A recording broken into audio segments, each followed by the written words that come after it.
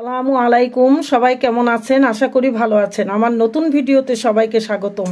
বন্ধুরা, নতুন একটি ভিডিও নিয়ে আপনাদের মাঝে হাজির হলাম। আজকের ভিডিওতে আমি দেখাবো শীতের গায়ের শাল বা চাদরের অঙ্কন এবং সেলাই ডিজাইন। বন্ধুরা, আপনারা অনেকেই দেখতে চেয়েছেন। এর আগে আমি কমপ্লিট চারটি চাদর একসঙ্গে একই ভিডিওতে আপলোড করেছিলাম আপনাদের জন্য।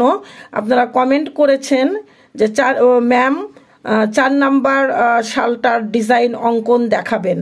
তো অঙ্কন এবং সেলাই সহ আজকের ভিডিও আপলোড করছি বন্ধুরা।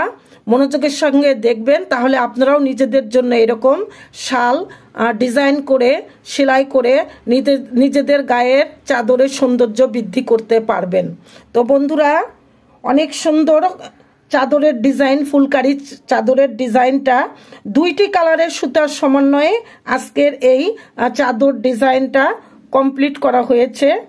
ফুলগুলো দেওয়া হয়েছে কমলা কালারের এবং পাতাগুলো দেওয়া হয়েছে হলুদ কালারের। বন্ধুরা, সেলাইটা দিয়েছি।